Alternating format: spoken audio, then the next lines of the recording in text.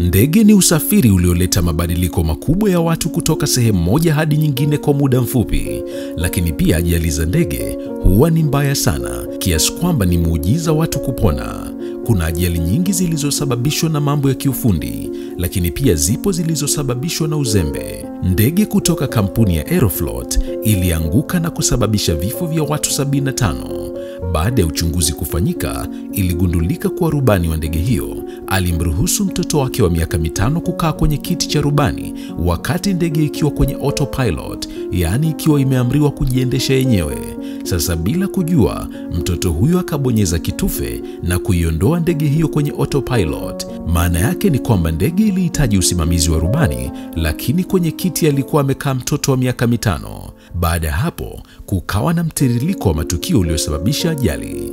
Nini maoni yako kuhusu hili? Tafadhali niandikie kwenye sehemu ya comment. Mimi naitwa Justin Shedi na kutakia wakati mwema, na tukutane tena kwenye video nyingine.